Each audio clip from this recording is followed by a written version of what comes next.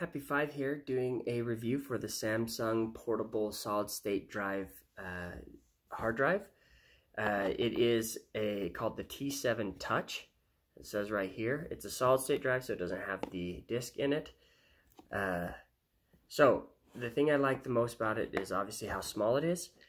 It can fit in a bag, in a purse, in your pocket, and be taken anywhere. It's really lightweight, um, but it's also really easy to use.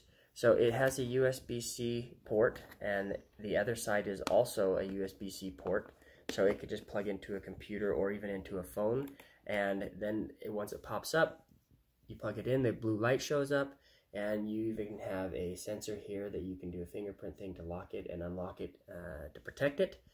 Um, once the blue light's on there, it will show up into your files and you can move things over really quickly. Um, so it's just really easy to use and has a lot of storage space for something so small.